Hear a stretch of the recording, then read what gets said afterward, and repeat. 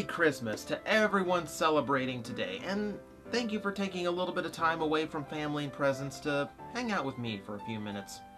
Now, that is what we celebrate here as well, and I try really hard not to make Toycember a Christmas special thing. You know, like, I'm using the least Christmassy song I can think of that's still, like, seasonal.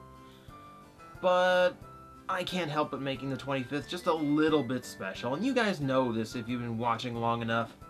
So, since we saw what the White Ranger used to be wielding yesterday, I figured for today, let's see what he's got now.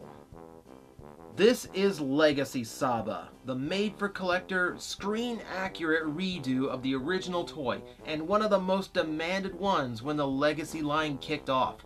First off, this thing is a lot bigger than the original toy. 24 inches long retracted, 27 and a half inches extended. I never saw the real one in person, but from the size and detail, this feels like prop replica quality. It's cast in heavy-duty white plastic, with a softer metal gray for the blade. It's not child safety soft, just noticeably different. A lot of the gold matches up with the original we saw yesterday, but the stickers are replaced by paint and the chromed parts are now plated die cast, and there's a lot of it. Most of the gold you see in the hilt, as well as Saba's helmet, are metal, making this very heavy.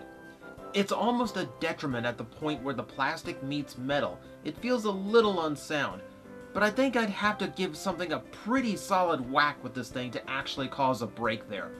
Everything in this toy is impeccably molded, from the trim of the gold to the deep lines in the handle, and much of the grooving being panel lined to bring depth to the details. The toy also lacks any kind of alterations to the original Saba toy. No lightning bolts, it's full-on Dairanger detail.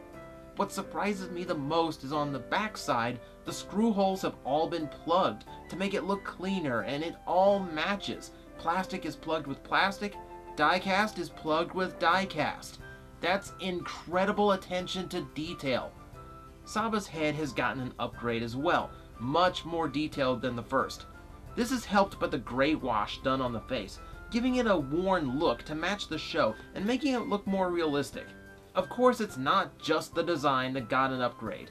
The electronics did too, and they got awesome. First off, the attack button is now in the proper trigger position, and it actually has sword slashes now. Next up, flip the sword over and you'll find another trigger for the slashes if you want to go underhanded. Then there's the buttons on the back of Saba's head. The left one causes a roar,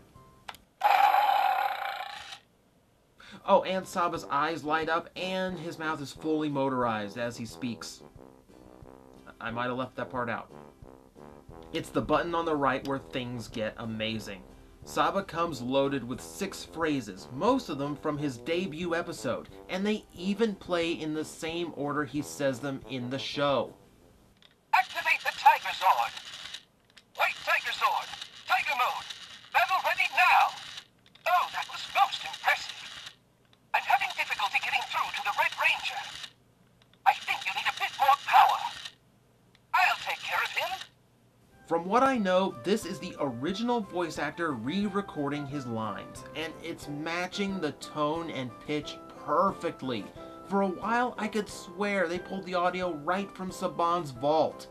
True, the mouth doesn't sync to it well, but this was dubbed over a Japanese show, so I think that makes it more accurate and with most Legacy toys, holding down a button, in this case either one on the head, will play the theme song.